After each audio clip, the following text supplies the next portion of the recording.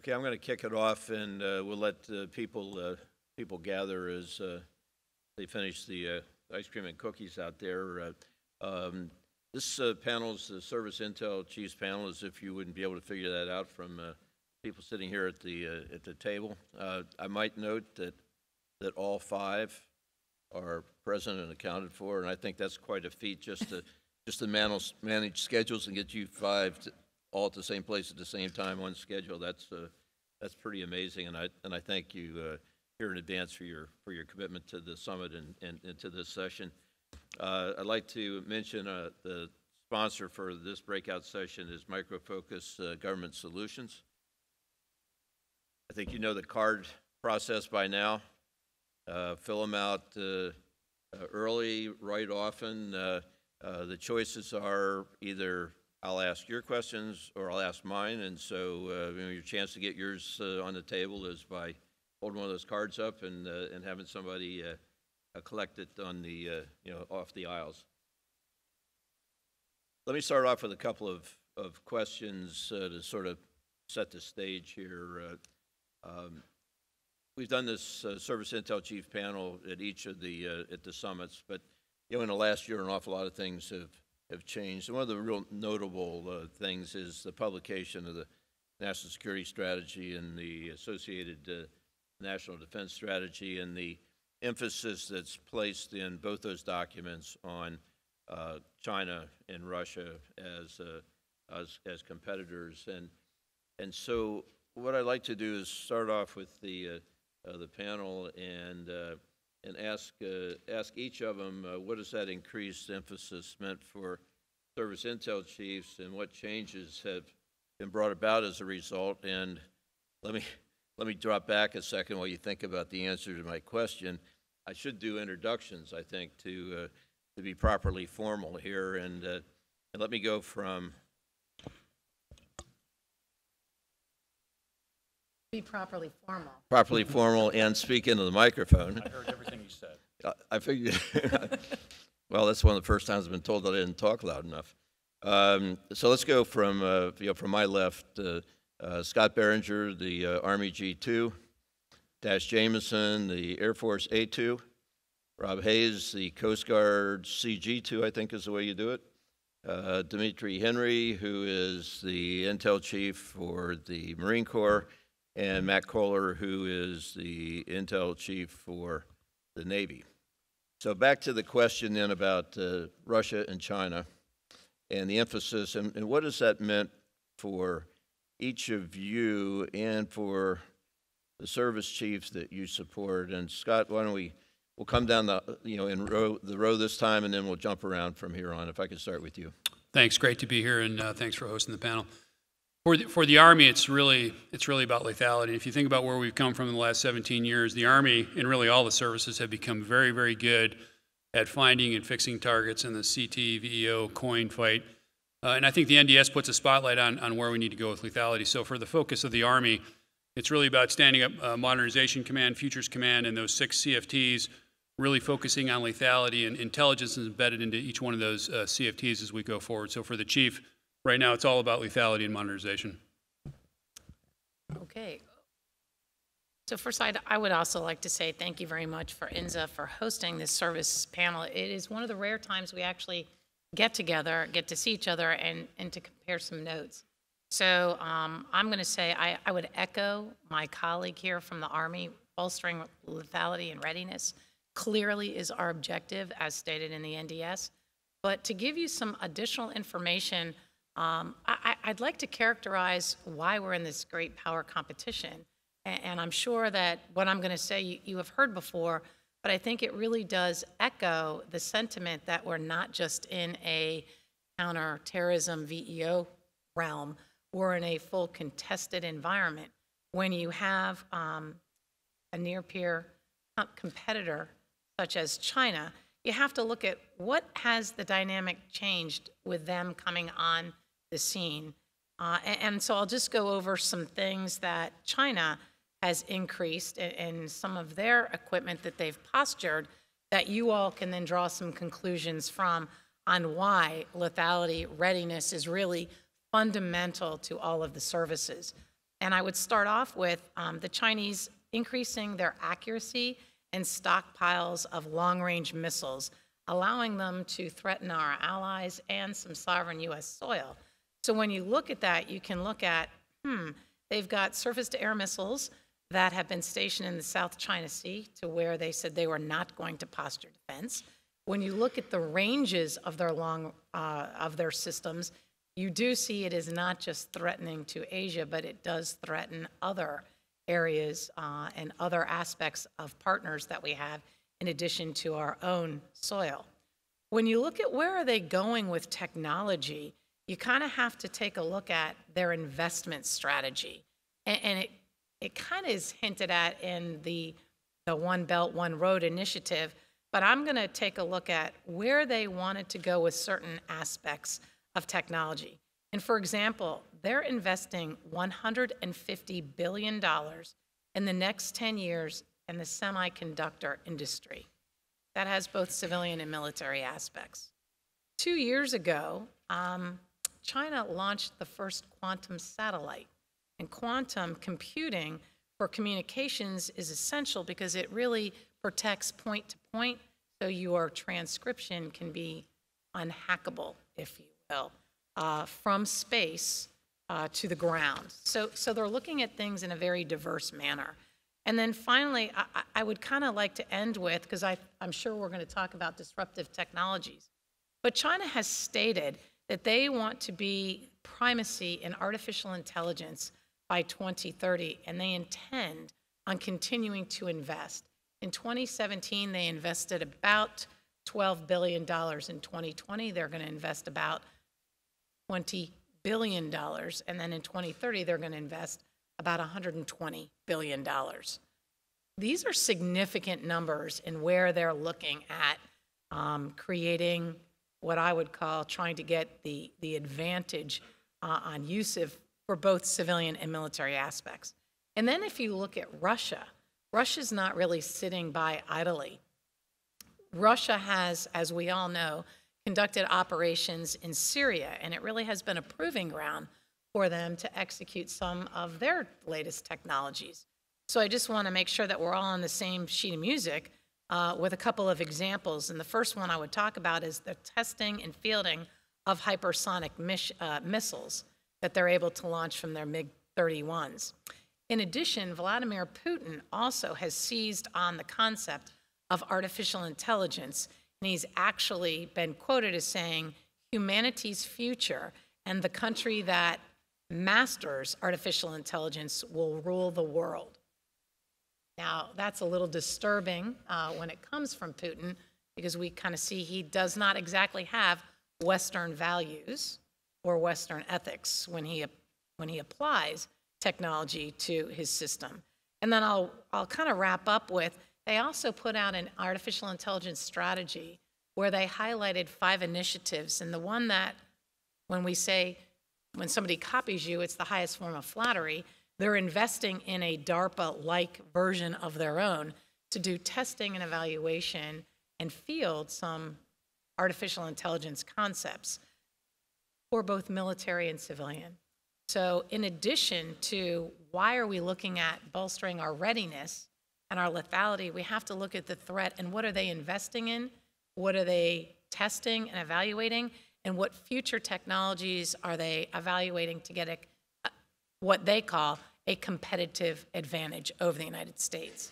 So, with that, I'll pass it off to my Coast Guard colleague. Thank you. I think you'll see here that there's going to be a range of perspectives representing different services, and I think we might be, Coast Guard might be a little bit of the outlier and, and present a little bit different angle. So if you look at our national strategies, there's a sense of cooperate where we can and compete vigorously where we must. And I would say for the Coast Guard, we fall kind of within that spectrum. In some areas, there's cooperation going on. So in, in places like the Arctic, we're trying to ensure that there's a cooperative domain there uh, between us and the other countries in the Arctic Council. Uh, China is not, but has aspirations and has signaled an intent to be an Arctic nation, at least operate up there. And so we're seeing up there quite a bit, and we are finding ways to cooperate with the Russians and others on the Arctic Council, but also the Chinese as they operate there. And then things like the North Pacific Coast Guard Forum, which brings together Japan, South Korea, um, China, Russia, Canada, and the United States to collectively work on security uh, in, in the North Pacific. But then there's the aspect of how do we compete, and we're seeing China and Russia in our hemisphere quite a bit more. Uh, in addition to all the activities that have already been mentioned, you know, their ships uh, come, and their aircraft coming into our hemisphere quite a bit, and oftentimes the Coast Guard is part of the solution as far as how do we monitor them, how do we uh, track of what they're doing. Uh, but then also using the Coast Guard for uh, partnership engagement and capacity building for regional countries that might help us to offset China and Russia. So in Vietnam, Philippines, India, Japan, and with places like Ukraine and Georgia, Coast Guard being a good matchup with some of those navies and their Coast Guards as far as developing capacity, uh, promoting information sharing so that we can collectively act as a counterweight uh, to both China and Russia as uh, near-peer adversaries. Dimitri? Right, sir. Uh, Good afternoon, everyone. Uh, The Marine Corps, uh, in the National Defense Strategy, uh, our role is pretty clear. Our peer uh, pacing threat is China, and uh, the Commandant has made it clear as we prepare to meet the peer threat in the future that we have to modernize and we have to upgrade our readiness. If we do those things and when we get down that path of where we want to be, we will be more lethal and able to uh, meet that threat. From an intel perspective, for me and, and the folks that uh, make up the Marine Corps ISR enterprise, what that means is we have to get back to doing what we used to do uh, before those wars started in the, in the Middle East uh, in earnest uh, in the early 2000s. And that is, we need to understand kill chains and how to get inside those kill chains so that uh, we can allow the force to close with and, and destroy whatever uh, element is out there that, that uh, is in our way. And so for the intel piece of the Marine Corps, those things that are going to enable the Marine Corps to be more lethal, uh, what we really need to do in the future, and, and as we work to get to the future, is be able to make sure that our Marines are trained uh, and ready to use the technologies and all of those things that uh, everyone, uh, certainly here in the hallways as you walk through, it's all about cyber, it's all about tech. Uh, I'm more concerned about a Marine being able to utilize that technology and being able to use uh, their brain housing in, in order to make us more lethal and effective.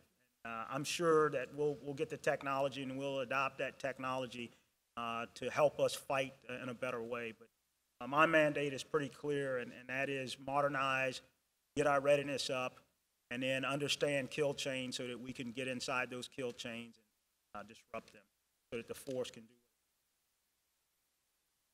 Thank you. Uh, Well, thank you. Uh, I join the others in, uh, in thanking the opportunity to be with all of you here today. Uh, For those that are paying attention here, there's one on the panel that does not look like the others. Uh, I think I got the wrong uniform pick here with the bright shining white. Um, One of my panel members uh, threatened that they might throw some uh, off-colored food on my uniform. I- I won't mention who that is, but the initials, I think, are Dash Jamieson. Um, But uh, it, it is a great opportunity to be here, um, and as highlighted, um, we welcome uh, this opportunity for ourselves to get together, which is, which is not often enough. Uh, But with the challenge that we are facing here with the great power competition, uh, we find that all of us that have grown up together, we are partnering and, and, and turning to face a shared threat. So um, we talk about the national defense strategy and what's in here, and many of the panel, panel members have talked about it already. Um, what it what it means to us, this re, a return to a great power competition. Uh, though we're not returning, there's some aspects of it that might feel familiar for some of the more mature people in the audience. That was uh, around during the Cold War. Uh, I remember some mentoring here from You're going to get some from Admiral if you're not careful. Jacoby and, and uh, Admiral Cothron, and there's a few others in the audience. But, um, you know, the, for, for the Navy, it, it, uh, it means a lot in terms of what we've had to do to adjust.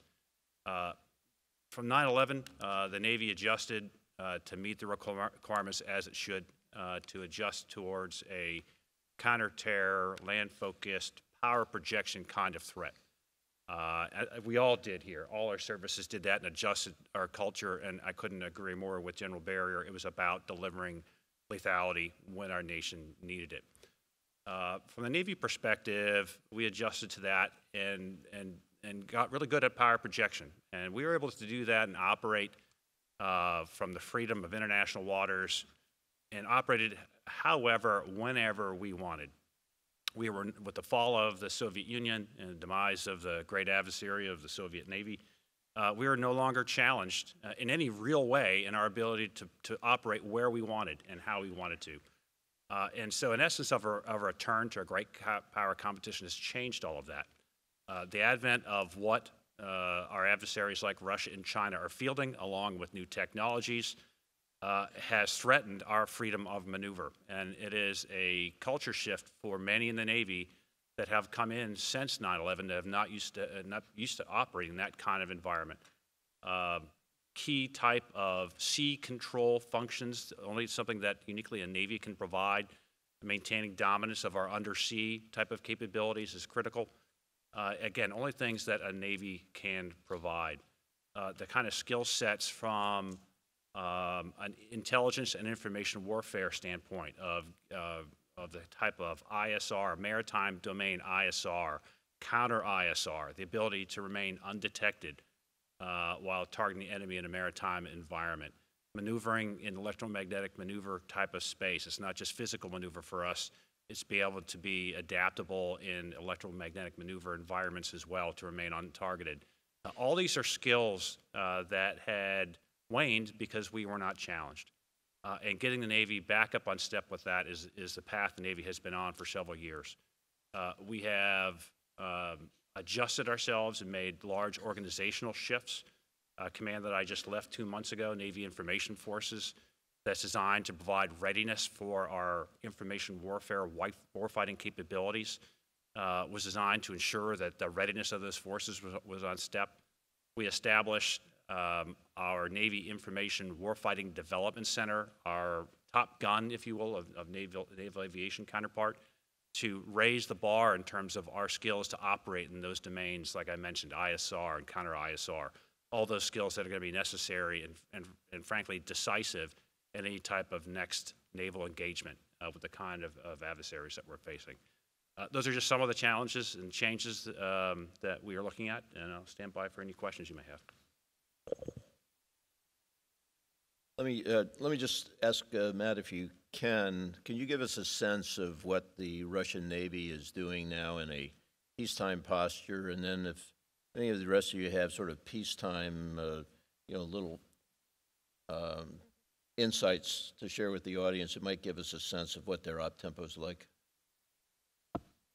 Yeah, sure. I'm happy to start with that. Um, so we roll off the great power com- competitors here, Russia and China, like they're like they're similar in any way, and they're of course completely different uh, in terms of capacity and capabilities. Uh, what we're seeing uh, from the Russian Navy, uh, a fraction of its size of what it was in the Cold War, probably about a sixth of its size, uh, but it has focused on quality, uh, not quantity, and I would offer that.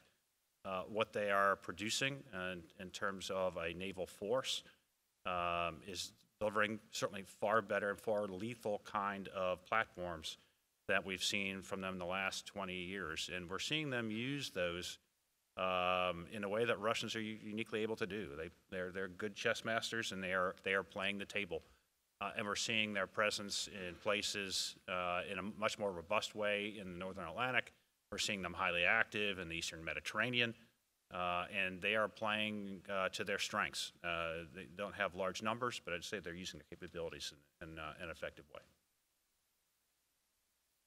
I'll jump in. Uh, When you look at Russia, uh, since I am the Air Force ISR Directorate in charge, I look at my counterpart.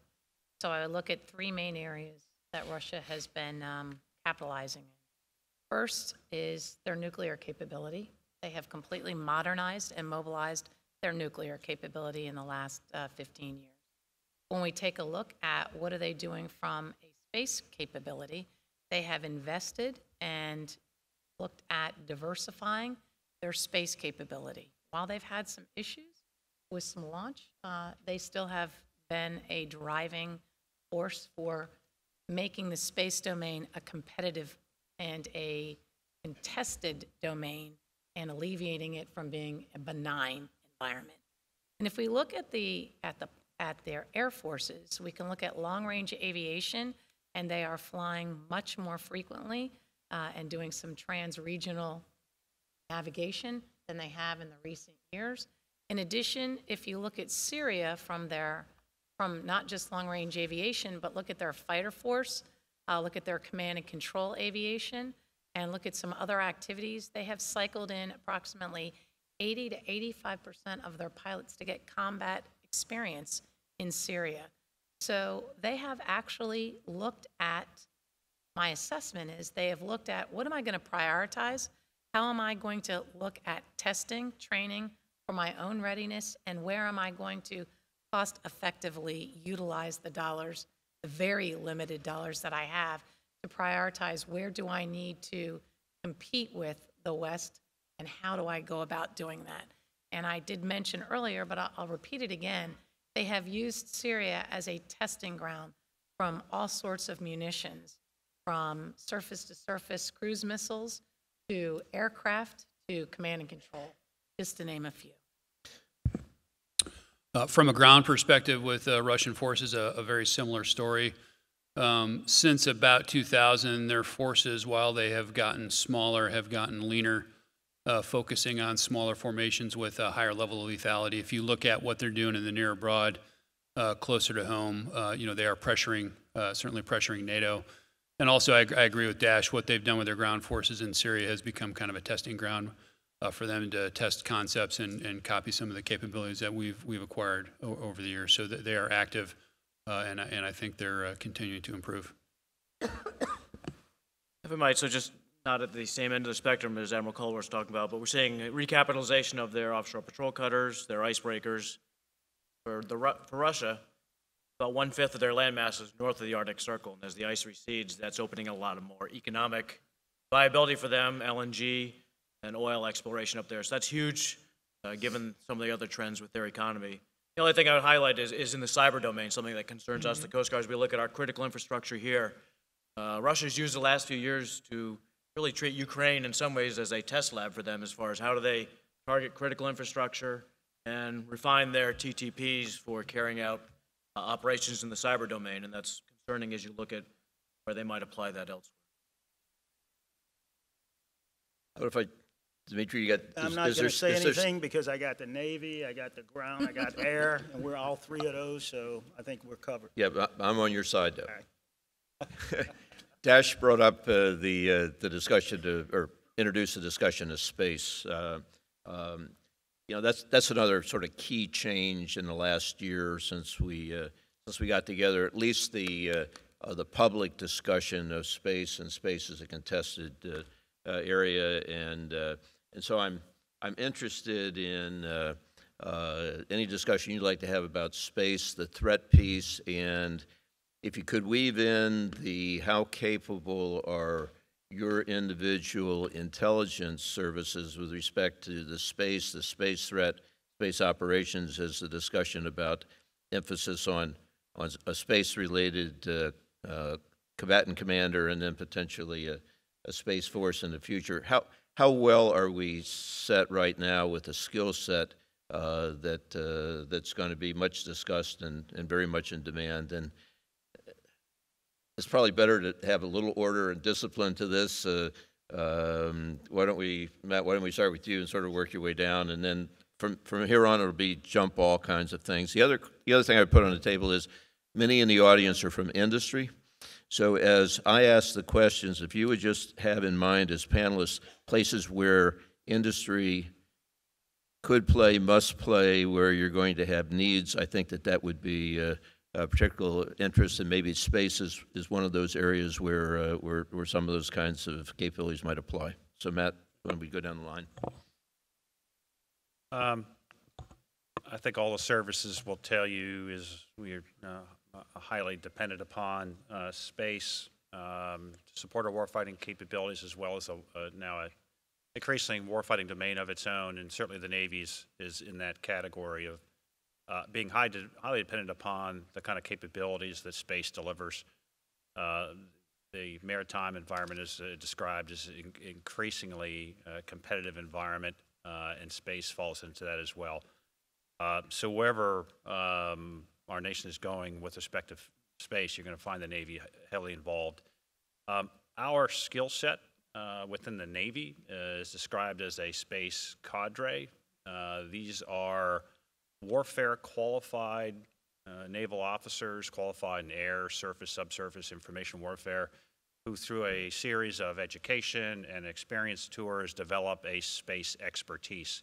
And we manage the cadre that way, as well as our acquisition uh, uh, specialists in space acquisition uh, kind of positions. Um, and, and that's how the Navy uses the, uh, the skill sets to leverage the space that it needs. Uh, we have just completed uh, nearly a, a year-long review of, um, of that space cadre, what positions they're assigned to, uh, are we invested in the right place? And the answer is we weren't. Uh, and we looked down to the tactical level, to our strike groups, to our operational level at our maritime operations centers, our numbered fleets, as, as well as uh, acquisition positions, and just did a, a scrub to see did, do we have the, the right alignment?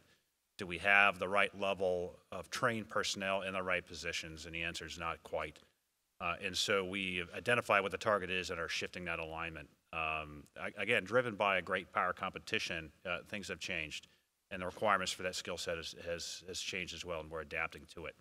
Uh, where we're going, uh, or where our nation's going with a, um, a, proposed space command, a space force, uh, the answer is we're all in.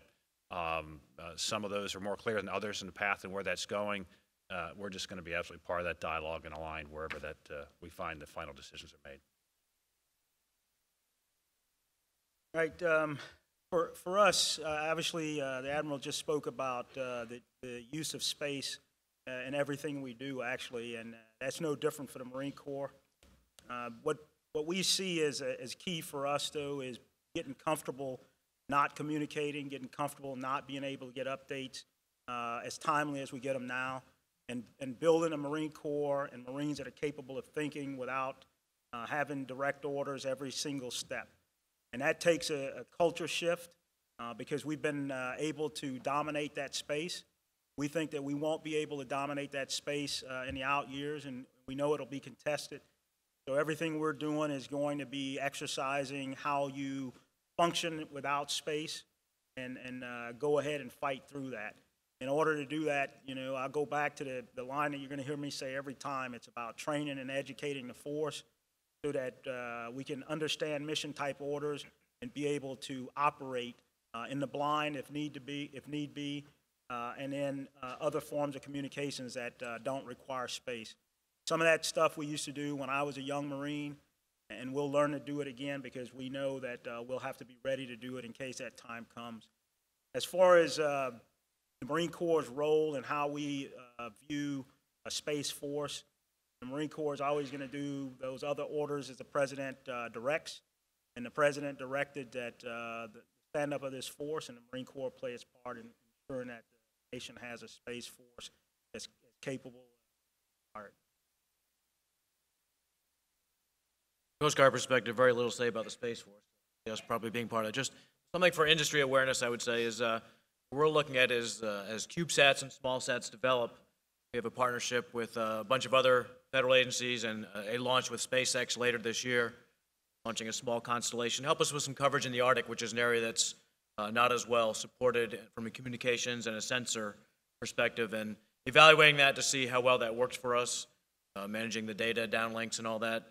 Seeing if it's better for us to work with other partners to manage a small constellation, or as industries evolve, in- as industry is evolving, just purchase data, or purchase services from industry instead. So we're kind of excited about that test upcoming. Well, I would agree with what my colleagues have said, and I'm, I'm going to kind of take a, an- a page from what uh, Dimitri talked about. Of course, we're going to look at o- opportunities to execute without, but we are not going to cede any domain. Just because space is contested does not mean we're going to cede that and have the adversary with a sanctuary domain that we don't intend to defend or operate from. So I, I would say, as a result of that, uh, in our Air Force Next Generation ISR Dominance Flight Plan, we actually had an annex, have an annex on ISR from and for space.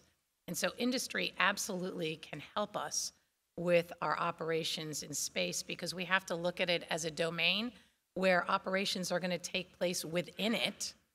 Because traditionally, and up to this point, we have looked at it as a domain that operations have taken place from it to the terrestrial. So we absolutely need to have a partnership with industry as we evolve. What are we going to do for operations, whether they be to defend or project from space within space? The other aspect that, that I would offer is space gives us the ability to help us balance our Air Force ISR portfolio. and what I mean by that is, in addition to what has traditionally been coined a standoff capability, it gives us a penetrating and persistent capability where we can employ with industry capabilities in the different orbits uh, and belts in space to actually enable us to fix on a target and maintain custody of that target to help us with our kill chain. Now, we're going to have to make some cost effective decisions as to what, where, when, and how much, but we have to do that in a partnership with industry. And, and it's going to be a different partnership in that it'll also be a government and commercial capability. As uh, Rob talked about, we don't necessarily have to own everything. We can lease, we can purchase when we need, where we need, for what we need. If we actually look at the explosion of capabilities within space and we look at just imaging capability, in the next three to five years, we will have the Earth covered with an image every three to five minutes. Well, there you have it. Commercial capability is out there and it can be used. It can be used both by the adversary and by us. We just have to be smart about how are we going to use it because we are not going to cede the territory that space offers us. The other thing that I would, uh, I would answer is we need to have a, lo- a serious look at how do we actually get and use the distances that space offer us. And, and we are exploring and looking at, just as our adversaries are with quantum computing and hypersonics, but I think that's a rich area where industry can help partner with us for operations within space and operations from space. So I kind of gave you a little insight into our Air Force Next Generation ISR flight plan and the annex uh, because we're looking at a balanced portfolio. And when I mean a balanced portfolio, we have traditionally in the past 17 years done a very heavy investment in a permissive airborne capability. And our portfolio in the flight plan really takes a look at what can we work with with industry uh, to look at space capabilities, to look at cyber capabilities, to look at manned, unmanned, kinetic, not kinetic, uh, and, and look at speed, whether it be hypersonic or extremely, extremely slow. We all know there are difficulties visualizing both and, and keeping track of both areas.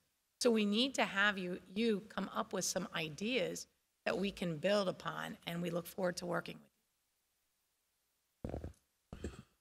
The, the Army perspective on this is we, we believe that uh, space will, will be a contested domain. It's a very important domain for the Army, whether it's communications, uh, precision navigation, and timing, targeting, whatever that is. We, we know that we're going to be reliant uh, on space. And so, what, what we need from industry really, in addition to what Dash said, and I think we're closely linked with the Air Force as they looked at, at space and what, the, what is the future of ISR, we, we need redundancy and persistent surveillance from space. So if you think about, if you go back to that VO and coin fight that I mentioned, and, and putting a Reaper, Predator, Gray Eagle, or whatever over a target for 20 hours, 24 hours, 36 hours, we need that same capability from space. Uh, and, and we know we know that it'll be contested, but we think that that uh, the technology is out there for you to help us with that and actually deny our enemies and our adversaries uh, that same space. And so we need your help there. Thanks. I've got a couple questions here that have to do with uh, uh, what types of commercial data might the services be looking to purchase, or how does open source information fit into your to your planning? Rob, you and Dash both mentioned uh, uh, types of commercial data. How about we do a jump ball here? Any other things that uh, that people would want to put on the table that fall in that category of either open source uh, needs or commercial data needs? Yeah, I'll jump on that one. We, we don't really call it open source. We really call it publicly available information. Uh, and that is another annex in the ISR flight plan, and that is 100% commercial off-the-shelf capability. And uh, I think that uh, Scott, and I are, are pretty aligned on this. We actually want to flip our paradigm, where we traditionally have looked at exquisite DoD intelligence and done all of our indications and warning and tipping and cueing and, and assessments from that. And there is a wealth of data that is out there in the public domain. And so we want to actually use publicly available information as our starting point and flip that to where we start with that. What that means is we actually have to work with industry to help us with defining and developing algorithms so that we can sift through and ensure that what we're using from the public domain is actually true. It doesn't have malicious code, it's not false, it's not deceptive. So we've got to work together on artificial intelligence means to get at developing algorithms so that we can identify when in fact we're dealing with pure data from the public domain. The other aspect of commercial capability is it really is not about the next sensor or about a platform. It really is about the data. And, and we must work together so that we can have an open architecture construct so that the data can flow within a service, across the services, in a joint fight, because the data will actually give you the answers to questions that you haven't posed. And right now, our construct is we're building a sensor to answer a specific question. That's okay. Technology has caught up with us to where we can use commercial, off the shelf capabilities with your commercial data standards so that when we build an open architecture construct, we can actually share the data and we can learn from it.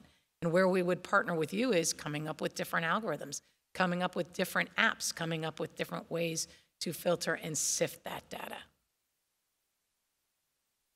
I think you made a great point. If we can just, I don't know if we can stress enough, paradigm is a shift. I'm going to not talk about specific data per se, but just so much publicly available information, whether it's commercial data, social media, imagery, and other sensors that's available. Like you said, mapping the world every mm-hmm. three to five minutes. That the competitive advantage that we once enjoyed with national technical means, everybody, not everybody, but almost everybody has access very rapidly to reams and, and, and lots of data. So it's how do we mine that as best we can? Because Coast Guard perspective, I think for others as well, sharing with partners, whether they're international or in some cases for us, industry, when we're dealing with natural disasters or other things, I think publicly available information, less concerned about classification and a lot easier to get to rel to whoever using information that's not restricted by sources. More of a paradigm shift towards how do we move the lever towards uh, getting more access to And I'm going to jump in one more time because I think that um, General Henry has brought up an outstanding point, and it's about training. One way that industry can really help us is we have a young generation who has grown up in the digital age and understands coding, understands that they are going to have a device with them at all times. So they're not afraid of human machine teaming. Then there's the rest of us, and especially us older set that um, grew up in an analog world, and there is a fear of human machine teaming, a fear that a machine is going to replace a human, which is kind of ludicrous if you really start to think about it. But we've got to look and pair with industry on how do we actually change how we train and how do we take fear away from human machine teaming and how do we set it as it's a wingman stance or a fellow rifleman stance where we can get the most out of the machine and, and use it in that light. Because our youngest generation, if you, if you were to go into an elementary school, just about any school that started in the last week, almost every single student was issued some kind of pad, starting with kindergarten to start learning from. They understand human and machine teaming. We have to get our head around what does that mean? What does it mean when we human machine team? And how do we change our training so that it's an accepted and excitable transition? Because that will work towards retention and better accession rates than we might have if we ignore human machine teaming. I think there's a, uh, there's also a speed and agility question here. If you look at our service acquisition, systems that really underpin our, our analytical foundations in each one of the services, those are all built on models that are, that are years old and take years to develop over time. This, this technology that Dash uh, is talking about re- requires speed, agility, injects into, into our systems that move faster than the acquisition system does as well. And if, if you go back to Dash's comment on, on kids and talent management, we also need data scientists because this is a big problem and you need big brains to solve it. We have to be more agile on how we attract that kind of talent uh, into the military to work with you on uh, AI, ML, and how to manage uh, the data and commercial solutions, and we're not doing that very well.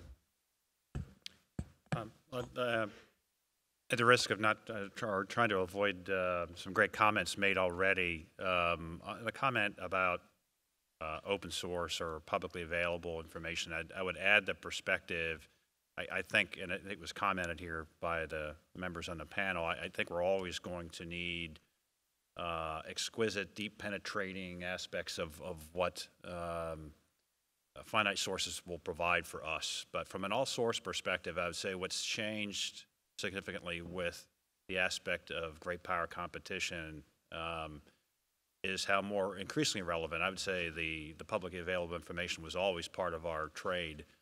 Um, but when you have adversaries now operating much more globally, you're having an adversary like China that, uh, with this one belt, one road, is operating in, in, a, in a much broader domain that uh, allows the kind of open source to become increasingly relevant and important in what it, what it can tell us. Um, the one point I would make is we're, we seem to be shifting towards some discussions on, on machine learning and other aspects. It's another complete conversation we can have. It, um, where I think industry can help us a lot, um, and I think each of the services are dealing with in different ways, uh, is help with a where I think industry has succeeded in many ways of uh, of uh, data standards and data strategies. Uh, for us to be really successful about working uh, across large elements of data that we need to be sharing, uh, certainly across the services, and the ability to collect it, but the ability to operate that requires a, uh, a cleaner approach in terms of, of focusing on the data first. What is the data and what is our strategy moving forward on this one? I think, I think the technology is going to drive us that way, um, but it's an area where I think we could probably use a lot of help in terms of skills. I'd like to uh, sort of close out the AI ML part of the discussion because we could go on all day and philosophize there. But do any of you have specific projects uh, or or prototyping or uh, some type type of targeted effort in the AI ML area that you're intending to uh, pursue over the next 12 or 18 months? And let's sort of bring the AI ML discussion down a very tactical level, but uh, anything, uh, anything that you're going to put particular emphasis on and try to achieve results in in the next uh, short period of time? I, I see a nodding, Scott, so we'll let So, you start. no, I'll there. go first on that. So the Army, the Army probably has anywhere from a dozen to 15 different um, smaller AI, ML projects going on across the service, service, or across our service, really related to the CFTs and the kinds of things that we're doing. Where I see this going for uh, Army Intel is really what I would call support to mission command or mission command intelligence. And this is, so think of an analytical foundation where, where you go in and uh, you automatically through uh, AI and, the, and, and assistance from the cloud have a terrain analysis that's already done. And then you reach into that cloud for, say, a doctrinal template of a given enemy formation, and the AI and the algorithm really, really portray that threat uh, on the terrain for you so the analyst doesn't really have to do it. And then the analyst can just tweak it and think about it, doesn't really have to draw icons on a map anymore. That is where we're going to. And then assistance with tools to help in collection management, reaching into databases that we don't have access to right now. We, we believe that a construct like that to support mission command intelligence will enable us to go much faster on the ground and really enable a brigade combat team or a division or a corps going into a future fight. Uh, so that is how we're looking at, at AI, ML, and, and really commercial solutions, and we want to partner with you to help us help us get there. And I'll turn it over to whoever wants to go next. Well, I'll jump in, and I would say, that, you know, all of the services, uh, we have multiple initiatives going on for AI, ML. But I think one of the things I'd like to stress is, for industry, you actually really want to partner with our younger folks. you traditionally have come to us or to uh, the colonels to, to make a pitch. We have set up, and I think almost every service has done this, um, prototyping and DevOps environments where we actually can look at a problem that the young airmen, uh, whether they be, you know, a combat brigade team, a, a, a flying squadron, space squadron, cyber squadron, ISR squadron, whatever, we're sending them to these labs where they actually take their problems, they have ideas, and they sit with coders, and we need industry to come in to partner with us in these DevOps environments. Because when we look at the old, the old industrial model was, I'm going to tell you, here are the five things that I want to develop, and we're going to develop them. I can tell you in the next 12 to 18 months, I don't know what I want to develop, but I know that I've got a lot of gaps and seams, and I know the airmen know exactly how they want to fix that. They just don't have the capability. So we are creating these environments uh, where we can bring in industry to sit with our partners. And our, and, and our examples would we, be, we have Kessel Run in, uh, in Boston, in DC, in Austin. We have AFWERX out in Las Vegas. We have environments where we can bring you in to sit down with our airmen to address these issues. And I think it really is get into that environment where it's live, innovative, iterative development to change the mindset and model of, I'm going to write a proposal, you're going to answer, and we're going to go from there, to it being an iterative scheme where we collaborate together. Now, it's not going to happen for every single acquisition model, but it is going to happen for a lot of the software models. And really, when we're talking about AI and ML, we're talking about software. And so we've got to break our paradigms of how do we actually interact and work with each other. I've got quite a few questions having to do with manpower, skills, readiness. Uh, Let me, let me start with the, the, you know, sort of a readiness uh, uh, uh, discussion and question. Um, We've had the bad years of sequestration, now we've had a couple of good years of, of, uh, of, better budget uh, climate. How do you assess your readiness posture today? Are there significant gaps? And if so, uh, do you have specific uh, uh, approaches in mind to, uh, to fill those gaps in? And Matt, you've been uncharacteristically quiet, so why don't we start on this end and work our way down? Yeah, next time I'm not going to sit next to you at the panel, I think. That was the last seat. It was. No one else wanted to sit next to you. Um, There's a, a lot of challenges that we face. Uh, The demands on all our forces, I think, are, are, are stressing readiness requirements across the board with new technologies, is stressing new skill in- in- introductions here. You've heard about some of them already.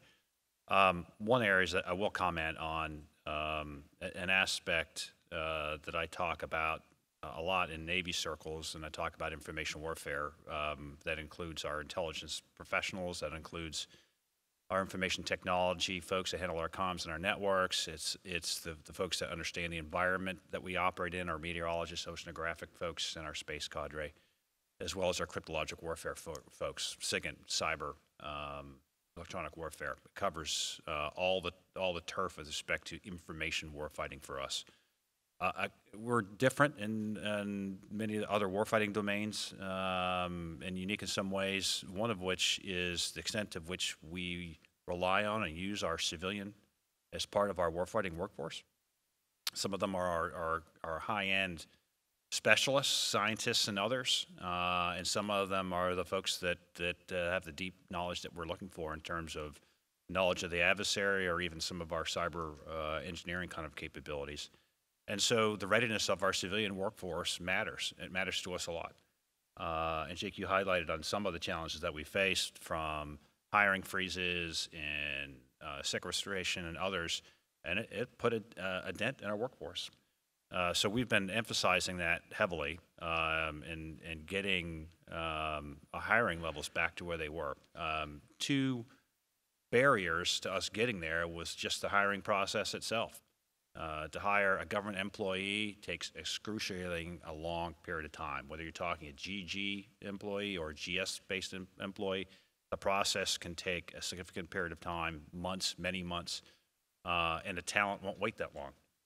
Uh, so we've been successful in the GG realm of shortening that process down to a miraculous less than 80 days, uh, which still ought to sound appalling to you, but it's 20% uh, shorter than when we started. Uh, and I'm putting that in a quasi-win uh, category. Uh, the other is the backlog that we have on our security clearances that occurred. Um, we were backlogged with a combination of Navy and Marine. We were well over 120,000 folks. We've been pushing hard on innovative ways uh, to reduce that backlog. We've used a, a combination of what we call um, uh, hubbing and surging. We've we've taken our the, the finite investigating workforce and put them in key fleet concentration areas uh, with the commands tuned to know that that workforce is there, and we've been able to have great success uh, in getting the interviews and some of those pieces that are the slow parts of the clearance process executed, as well as surging teams into other um, less dense fleet, fleet concentration areas, and, and we've um, seen some immediate results with uh, well over 10% reduction in the backlogs and what we're doing. So um, those are some of the challenges that I see, but uh, the, the payoffs are huge. When you're able to bring in that kind of talent uh, and hold that talent to your workforce, I think it's a real enabler.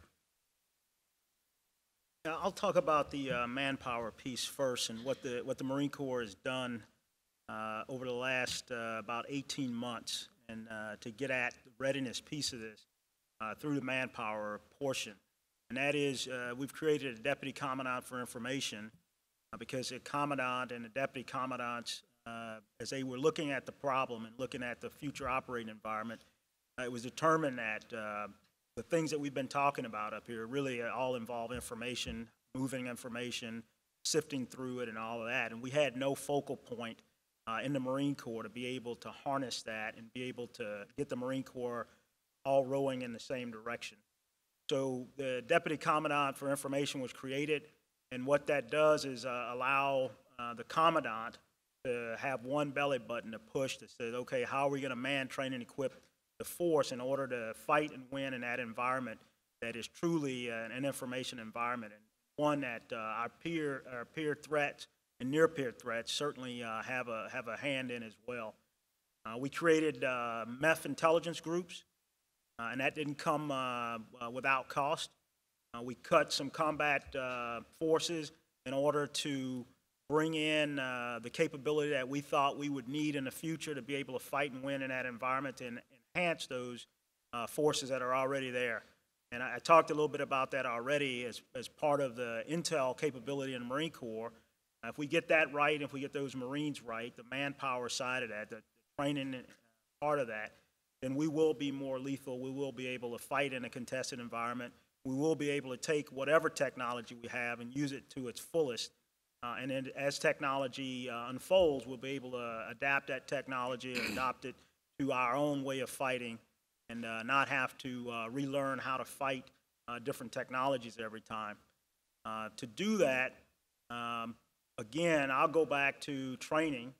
And uh, my pitch for industry is always going to be help me get Marines in a, in a position where they can immerse uh, in training, uh, immerse in an environment that's uh, interactive, real time, and they're able to reset and go back and, and repeat and do it on their own time and continually train and educate themselves over and over again until we can't get it wrong. That's what we're facing right now. The way we're training, or at least in, in some parts of it, uh, I trained like that 37 years ago as a, as a young Marine, and we haven't changed much. And the world has changed and left that behind. And if industry can do anything to make the force more lethal, in my mind, besides the weapon systems, it's being able to have us have soldiers, sailor, airmen, and Marines that can train themselves because they, they are capable of doing that. They are capable of taking in data and making decisions. And if you can do anything to help us immerse them in uh, an environment, an ISR environment, so they utilize all of the capability that they would have in combat, that would make us uh, much more lethal. Um, we also uh, have invested heavily in uh, our reach back ability, federated uh, intelligence capability. We do that because you can get reps and sets if you have Marines around the globe that are always engaged in some uh, space uh, dealing with a competitor. And if we can continue to do that, I think we'll, uh, the readiness piece will come and uh, we'll get better because those Intel Marines that are uh, in those formations will have already been working the problem long before they deploy and, and as they uh, exercise those particular capabilities.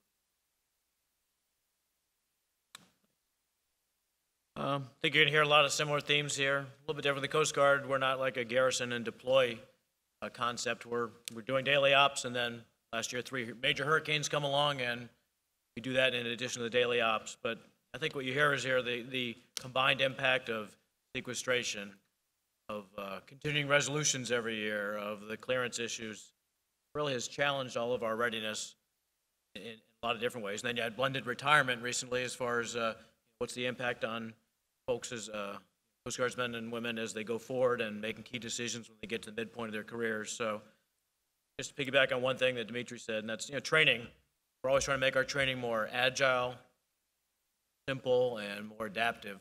Think about it, I'm going to exaggerate here, but, you know, you get an iPhone, you, how much training do you get on how to use iPhone? It's not much. It's, it's pretty intuitive, so what we're looking for is training modules that are more intuitive and, and quicker turnaround time on, on overhauling them.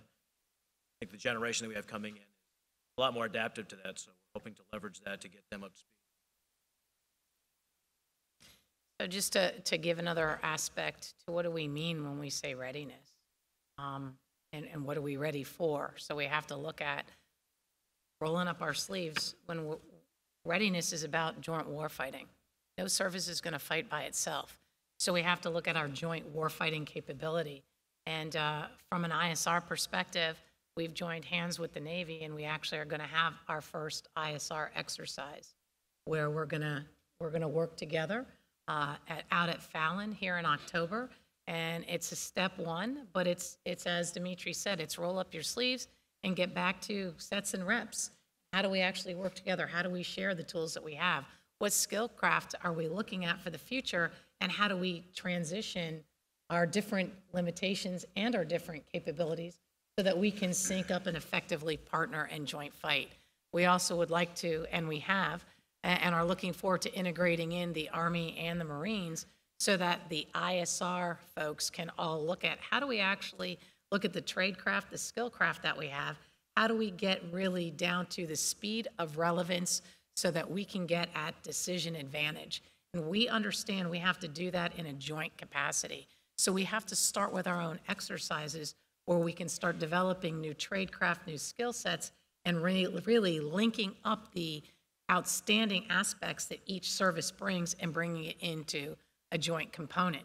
When you look at the various exercises that have been out there, uh, and for the Air Force, you know, it's different flags, uh, it- it's the different COCOM um, exercises, it's different regional exercises. ISR has always been a part of it, but it has not been the focus of the training. It has enabled training. So we are now looking at how do we make it the focus of the training so that we can actually look at where are we, where do we need to improve, and how do we link our capabilities together so that it is seamless. The data can transition and transport, be secured. And then I'd leave you with, it really does get back to, and I know I sound like a little bit of a broken record, but when we look at the Air Force Next Generation ISR Dominance Flight Plan, we start out with AI and data strategy. So the reason why we looked at our disruptive technologies and how do we incorporate them is as we look to the future and we look at new skill sets in tradecraft, as, as General Henry said, we don't want to be where we were 30 years ago. We want to use these technologies and we want to be able to transition across the services with what tools are working for you? What TTPs have you developed? How are you integrating and how do we share? And we don't want to just do it from a joint aspect, we want to do it from a coalition aspect. And in addition to our coalition and partners, we really want to do it with industry because we have to have you feeding us and, and giving us new techniques and new capabilities because you all do run internal exercises with what the capabilities you're developing. And we need to bring those and incorporate those. And we have to start with looking at how are the technologies going to help us? How are we going to get our soldiers, sailors, airmen, and Marines able to look at the why from the data versus what we do today in a very industrial manner with manpower describing the what the data is showing us. So that is an area as we progress with our ISR exercising to hone our skills. How do we transition to the trend analysis and the fusion aspect to get at speed of rele- relevance for decision advantage to those at the tactical edge? Agree with all of that. Um, From an Army perspective, though, readiness is expensive. It's about the right people, the right equipment, the right training at the right time, and that span of time uh, is finite. From an intelligence perspective, we, we need our soldiers to be able to go from tactical to national and to be able to have that reach. So I'm, I'm concerned about individual skill sets and credentialing and certifications. Our geospatial analysts having the right NGA certificates to be able to operate in that domain. Our SIGINT soldiers being, being uh, credentialed to operate in that, in that SIGINT domain with our NSA partners. So that, that individual credentialing happens in the institution and a lot of our foundry nodes. Our foundry nodes are those platforms that train those individual skill sets uh, in garrison. They partner between uh, really INSCOM, Intelligence Security Command, as well as Forces Command. So that's the individual side of it. But then on the collective side, we developed this thing called the Military Intelligence Training Strategy, or MITS. It's a gated training strategy, much like tank gunnery or Bradley gunnery. We start at the individual crew team level, so it allows those MI companies and formations to be ready at the same time that their supported maneuver formations are ready to go, whether it's a CTC rotation or into combat. And, and on that, know that the Army is still engaged along with our Marines, Air Force, and Navy in combat operations every single day, so that doesn't stop. The focus on the VEO threat, the CT coin threat does not stop. At the same time, we have to be trained and ready for what's coming over the horizon uh, with these future threats that we've uh, been discussing today. Hey, Scott, I'd like to, like to keep it with you and then come back up the, the line here. Um, Recruiting and, and, uh, and retention. You know, you've talked about readiness, you've each hit the, the training piece, but recruiting retention, particularly in those high-end skill sets, you know, we talk a lot about cyber, linguists, and so forth. Those high-end skill sets in particular that are in high demand in industry, do you have some, you know, can you give us some insights on how you all are doing with recruiting and retaining? And then just to add on the other piece, uh, you know, during these lean years, uh, in many cases, uh, uh, services went to industry to bring in sort of staff augmentation in those specific areas. Uh, can you just sort of weave that together on some of these high-end things that are going to be so desperately important to the fight we're talking about? Sure. I, th- I think all of us sitting uh, at this on this panel, all of our services offer great technical training, and it's not hard to find uh, young Americans out there who want to serve their country and all the services that come in for that great technical training. So recruiting them uh, is not the biggest problem. Retaining them uh, is the biggest problem. So think of that that young man or woman who's been in the Army three, four, five years, has significant technical skills and certifications, whether from an intelligence agency or working working on electronic warfare kit. Um, they can be drawn off very easily from from industry. So if I could put that out to you, you know, keep keep in mind that we need we need our we need our soldiers, sailors, airmen, and marines to be doing the right things for for our country. So it's very it's very difficult to retain. So we're using retention bonuses, we're using assignment choice preferences, and we're we're doing what we can uh, to keep them uh, keep them on the Army team as we go forward. So I would start out, I know you all understand this, but I think it bears repeating. We have an all-volunteer force. So we're retaining an all-volunteer force. Uh, And I would offer you, I went to Carnegie Mellon to look at their Artificial Intelligence Center. And the dean got up and said, you know, it- we find it very difficult to actually compete for our senior master's and PhD programs because the pool of individuals every year that we compete to, to attract is about 330,000. Well, guess what? That's the same number that all four of the services, all federal government, all industry, all academia are actually fighting for every single year. There's a- about an average of about 330,000 people that are between the age of about 20 to 25. So when we look at um, our, our competition and we look at China, we, we see they have a different look at things. They have more PhD students than we have students. But to get to the issue at hand, out of those 330,000, I have to agree 100%, we're not, we're not having an accessions problem. And I would say right now, we, the retention, I would say it, it is how do we actually ensure that our mid-level officers and enlisted and civilians are still attracted to work with the best people, with the best technology, to do something greater than themselves on working on the nation's most wicked problems. And I got to say, that does that does attract and retain a significant amount of our force, but it doesn't retain all of the force. So you have to think of some things and, and walk a mile in their shoes, and you have to look at what what are they being reinforced with? What are they being told is of value by a specific service? And so um, one of the things I did is I actually hired a, a very, very young junior 03, and I put him on my staff. And I did this because this individual is a digital native, and he thinks and looks very differently than everyone else on my staff. And um, after being there for about 10 months, he came up and he said, Ma'am, we've been doing language incentive programs for decades, and we have mastered it at, for all the services uh, with our Defense Language Institute. And we have milestones, and, and we reward our different human native speakers with bonuses. Why don't we do that for machine language? Why aren't we re incentivizing coding? Why aren't we testing and evaluating who's coming in with that capability? And I got to tell you, I wasn't the only one who was like, duh. Um, uh, we went to Manpower and Readiness, uh, Assistant Secretary, who said, oh my gosh, that's brilliant. Let's start surveying all of our airmen because we actually are assessing our airmen that have the capability to code in Python and Ruby and other complex codes because they game every day. And the win at gaming, they rewrite the code so they can win. So why don't we survey them? So we are starting to survey our airmen to look at how do we incentivize the different coding. That started us to think differently about retention tools. It isn't just about the incentive of the money, it's actually telling them we value this capability that you innately brought to the service, and we're going to highlight that, and we're going to reward that, and we're going to identify that.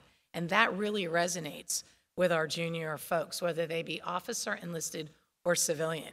So that's another area we can partner with industry because you all have fantastic HR programs where you look at rewards and incentives to things that we have not had to look at. And I'd love to have dialogue on what aspects do you look at? Because I'm sure there's more out there than just simple coding, but it's, it's another avenue that we would like to look at. Agree with everything that's been said. I won't repeat that. Just highlight a couple things. Uh, A mindset change is really what we need. Our retention's pretty good in the Coast Guard. In fact, we actually recruit a lot of people from these other services. Thank you for that. Um, There's no shirt change. Exactly. We wear the same Partic- shirts. Particularly the Air Force. Uh, but I'll just highlight something we're doing at our Coast Guard Academy. So um, it's hard to change the curriculum at our academy. I'm not sure, you know, other academies how it is, but ours is particularly hard. But we've actually created a cyber security curriculum there. Built a SIPR classroom several years ago, so we have the ability to teach up to the secret level. But beyond that, just how do we encourage? I'm just going to select the, the cyber uh, career path right now. For years, it's been for the Coast Guard, you've got to go to sea for your first tour of duty in the Coast Guard because, hey, we're seagoing service since 1790. How could you do anything else? Two years ago, we made a decision. We're going to start sending people right out of the academy, right out of that cyber curriculum to our cyber command. Test it, see how the, it works out. But it just, I'll just give you that. That's just one ex- example of how we're trying to. You're going to hear from all of us. How do we look at creative ways of not to recruit and train? That's the easier part. It's the retain, keep people hooked for a lifetime. It's not all about the money. It's about they feeling loved, like uh, already been said, and, uh, and they have job satisfaction and, and doing the mission. And that's what we're trying to hook there. So we're giving up some people. You don't have to go to sea. How that works out? Can they do cyber for an entire career?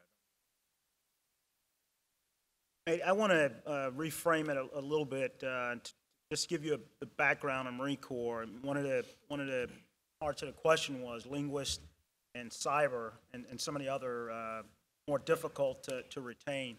The Marine Corps, no one comes in the Marine Corps to be a linguist. We don't recruit linguists. We don't go advertising for linguists. We don't do that in the Marine Corps. Uh, you join the Marine Corps because you want to be a Marine and, and take the challenge. What we do do is while they're down at uh, boot camp, is you know we look at we're looking at those tests, and we have folks down there that are spotting and assessing those individuals with, with the uh, the characteristics that we're looking for, and then those Marines uh, then go get pulled out of the pool, and they go and they get an MOS to go and be a linguist. So we're somewhat, I think we're somewhat different than the other services. So we don't do that. Uh, there's some ups and downs of that. The, the up is you get some of the, some of the more qualified folks uh, off the top because the GT score that we, that we target is 110. And uh, that's something we found that's uh, able to at least help uh, solidify the fact that they may be able to uh, learn Mandarin or learn Russian or some of the other more difficult languages. So we start with that, and then uh, I think it's been echoed here, and I'll echo it again. The difficult part is the retention part. And for us, what we found is that Marines want to do their job. And, you know, part of that job, though, is being trained and educated. And I'll go back to my stick. You don't get anything else from the Marines sitting at the table. Is we have to come up with a way that allows them to train themselves in an environment that's immersive, uh, whether it's about languages, whether it's about coding, uh, or any of those things that are, are considered difficult. On the cyber side, the Marine Corps has uh, created uh, an MOS. We didn't have one before. Uh, before, we were taking some of the SIGINT uh, Marines that uh, had the propensity to do that or were working in an area, and then we trained them and uh, we got them into the cyber world. Marine Corps decided uh, earlier this year that we would start, or last year, we would start actually recruiting to that MOS. So we're still in the learning phase uh, of whether it's going to work or not. Uh, I, su- I suspect that it'll be just like any other uh, of the services. If you provide them with the leadership, you provide them with the, the, the motivation and all those things, because to me, I don't, I don't see the money as being the, the issue. Certainly, some folks are motivated by it, but if you're uh, attracted to the Marine Corps, you probably didn't come in to get rich. Uh, I would say that really for any of the services. So I, I think there's a little bit of, of that. Maybe someone learns a little bit more about uh, the need for a bonus or something, but uh, for us in the Marine Corps, it's about making sure that those Marines are, are utilized uh, the way that they were trained to be utilized, and then actually giving them the good training in order to, to keep them motivated. So I'll leave it at that. Um, I'll close out the comment here. Um, You know, the lifeblood of our services is, is the talent that we bring in, and so uh, whether we meet our recruiting goals or not, it, it, it is always something that we focus on. I, I think that's probably una- unanimous across the board here. Our, our experience in terms of retention in the Navy uh, is an example. If we've had a strike group that, that came back that uh, worked high op tempo, came off an extended deployment, we found in many cases the retention was higher. It, it was exactly as you said, Henry. You know, they they join because they want to work and and they find value in in doing meaningful work, and and that's really our challenge. But we're always looking at those key skill sets and um, in areas where we're seeing some of the most challenges is in some areas. Um, uh, you know, high concentration of metropolitan areas that will recruit away some of our high-end talent. It just happens and something that we pay attention to. Um, a couple of things, though, uh, tools that we have been given uh, that certainly on the Navy side will intend to to explore, and some of the recent uh, NDAAs that have that have come out have offered some different approaches in terms of bringing talent on board. Uh, from our civilians, there's the cyber excepted service route that allows greater flexibility, uh, potentially a easier, shorter path of, of hiring, uh, reduction, less of, or actually no time and grade requirements to accelerate. Uh, We'll look to expl- explore that in terms of how we looked at. Those are for key skill sets. Uh, Also, in the most recent NDAA um, for military officers was options of uh, a lateral in process for those key skill sets that could be brought in based on the level of their skills and experience. Uh, Maybe not bringing them in as an O1, and bringing them at higher levels. Um, I'll say in both those areas, for, the- for that program as well as the cyber acceptance service, we're in the very early stages of exploring it. Um, But it it is a tool that we think could be effective, so we tend to uh, take a, take a a hard look at it. I notice we're, uh, we're at the uh, expiration time here, and you all have uh, probably four more hours of work today. So uh, I'd like to, uh, to first do an administrative uh, announcement, and that is, remember the happy hour that the uh, youngsters, the under 40s, are doing down in the sports bar, and then, uh, and close out by, by thanking, uh, uh, thanking all of you uh, for putting us on your schedule, keeping us on your schedule, and for all of you being here and and participating today.